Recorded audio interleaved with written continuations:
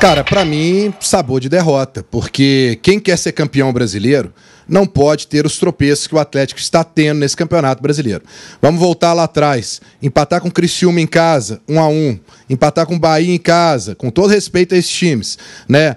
É, você empatar agora com o Fortaleza, da maneira que foi. O, o jogo do Palmeiras até tudo bem, tinha um a menos, Palmeiras é um concorrente ao título. Mas, cara, três empates dentro de casa como esse são seis pontos para mim jogados fora. É obrigação do Atlético é vencer esses times em casa. O Atlético estava desfalcado? Estava, mas Fortaleza também estava desfalcado. E ontem o primeiro tempo do Atlético para mim foi horroroso, Rafa. Dois chutes a gols, que sinceramente não criaram nenhum tipo de problema para o time do Fortaleza. O Fortaleza fez um belíssimo gol e ainda teve outras oportunidades no primeiro tempo. No segundo tempo, o time até mudou de postura, mas, cara. É, tem muita gente devendo nesse time, essa é a realidade. Jogar uma carga em cima, por exemplo, do Cadu e do Alisson, não dá. Eles não estão preparados ainda, né? O Filipão já havia dito isso e hoje a gente comprova que realmente eles não estão preparados para poder assumir um protagonismo nesse time. E nem tem que estar. Né? Isso aí teria que ser para Scarpa, para Batalha, para Zaratio, Paulinho. Paulinho até acho que ontem ele se esforçou muito e foi compensado com um gol.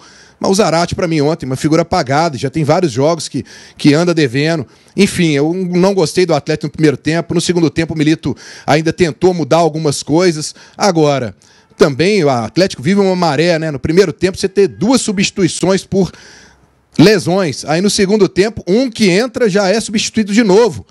E aí também vou falar outro ponto positivo, a entrada do Palácios, né? Já tinha entrado bem contra o Vitória, entrou bem ontem, espero até que seja titular contra o Internacional. Agora a fase do Atlético é muito complicada. Muita gente culpando o Milito, culpando o Everson.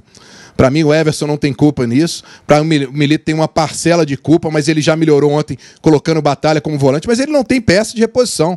A verdade é essa. Ele olha para o banco, vai colocar quem? No ataque, vai resolver como? O Cadu não está bem, ele vai colocar o Allan Kardec? Aí é brincadeira, né, gente? Então, realmente, ó, essa janela aí, ó, Rafa, precisa contratar. Ah, mas quando todo mundo voltar, vai sobrar jogadores. Não. O atleta tem que se preparar, porque quando todo mundo voltar, pode haver lesões de novo. E aí você tem que ter um banco preparado. Porque isso que o Atlético passou dessa vez, que o Milito falou ontem que não estava preparado, não pode passar mais, não.